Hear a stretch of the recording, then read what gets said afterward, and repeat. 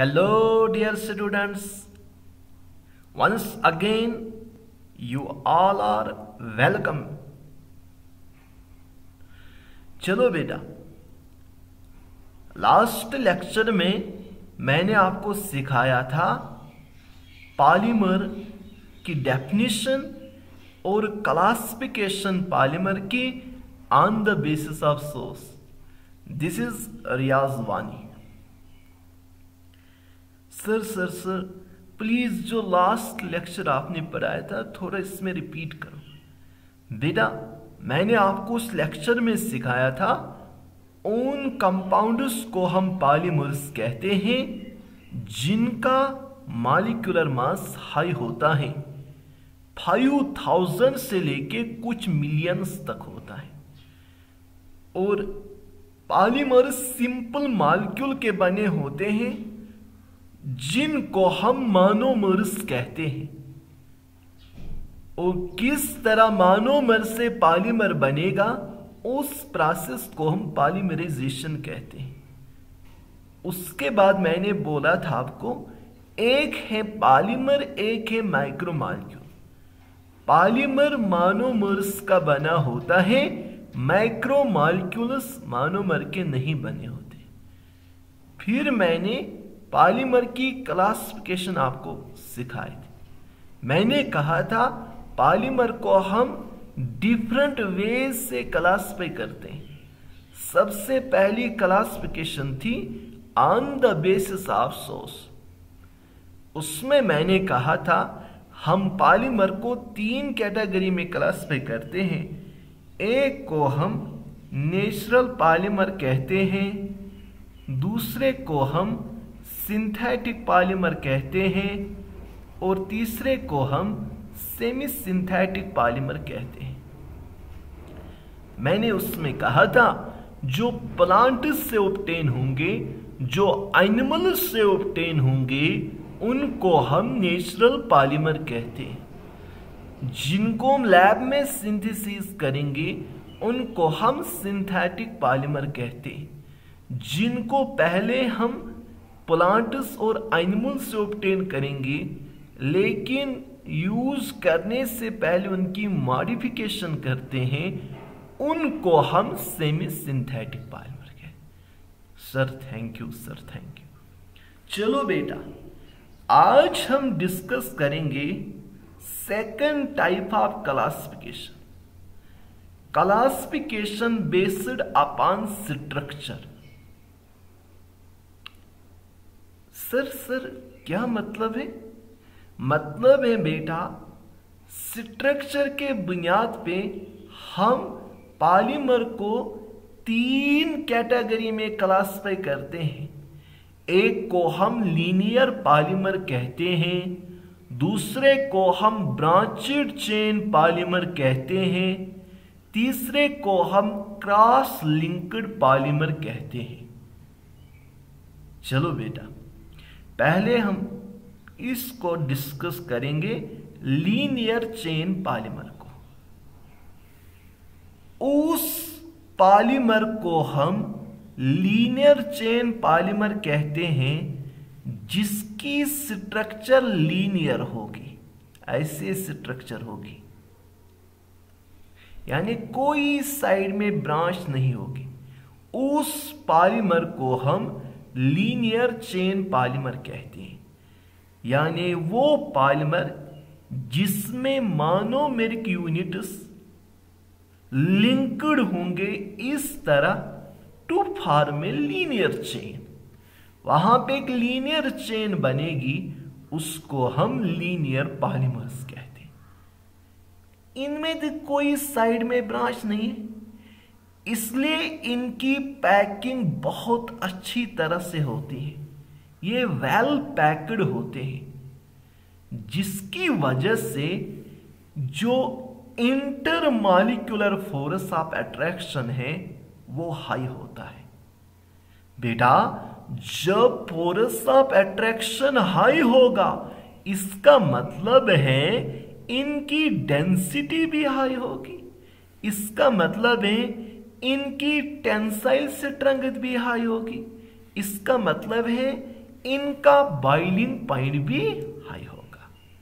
वो पॉलीमर जिनकी structure linear होगी, उन पॉलीमर्स को हम लीनियर पॉलीमर्स कहते हैं। इनकी वेल पैक्ड स्ट्रक्चर होती है। उसकी वजह से इनमें इंटरमालिकुलर फोरस जो है वो स्ट्रांग होता है, जिसकी वजह से इनकी डेंसिटी भी हाई होती है, टेंसाइल स्ट्रेंथ भी हाई होती है और इनका मेल्टिंग पॉइंट भी हाई होता है। इनकी एग्ज़ाम्पल है बेटा, हाई डेंसिटी पॉलीइथाइलिन इनकी एग्ज़ाम्पल है बेटा नाइलॉन। इनकी एग्ज़ाम्पल है बेटा पॉलिस्टर इनकी एग्ज़ाम्पल है पॉलीविनाइल क्लोराइड, इसी तरह बात। आप कम से कम एक एग्ज़ाम्पल को याद रखोगे, वो है हाई डेंसिटी पॉलीइथेलिन। एक क्लियर हो गया बेटा? बता मुझे? हाँ आप बता मुझे बेटा, किस पॉलीमर को हम लीनियर पॉलीमर कहते हैं? सर, एक ऐसा पॉलीमर है लीनियर पॉलीमर जिसकी स्ट्रक्चर लीनियर होगी इसमें इस तरह मानोमर यूनिट्स लिंक्ड होते हैं, इनमें एक लीनियर चेन बन जाती है। बहुत अच्छा बेटा। सर, इनमें तो कोई साइड में तो चेन्स नहीं इसलिए वेल पैक्ड होते हैं, जिसकी वजह से इनके दरमियान फोरस, इंटरमार्कुलर फोरस हाई होता है, जिसकी वजह से सर इनकी डेंसिटी भी, इनकी टेंसाइल स्ट्रेंथ भी इनका मेल्टिंग पॉइंट भी वो हाई होता है। अब हम बेटा मूव करेंगे नेक्स्ट पे, जिसका नाम है branched chain polymer sir sir, मैं इसका आंसर बताऊँगा। जी बेटा, बोले, सर, ये तो आसान है अब। जिसमें साइड में ब्रांचेस होंगे, वही ब्रांच चेन होगा। यस बेटा यस बहुत अच्छा बहुत अच्छा। वो पॉलीमर वो पॉलीमर जिसमें साइड चेन्स होंगी, जिनको हम ब्रांचेस कहते हैं। इनकी डिफरेंट लेंथ होती है।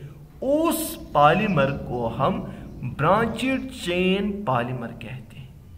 एक ऐसा पॉलीमर एक ऐसा पॉलीमर जिसमें मानोमर यूनिट ज्वाइनेड होंगे। To form long chains with side chains भी होंगे। इन साइड चेन्स की लेंथ डिफरेंट होती है। Due to these side chains बेटा इन साइड चेन्स की वजह से इनकी पैकिंग वेल डिफाइनेड नहीं है। इनकी वेल पैकेड स्ट्रक्चर नहीं है।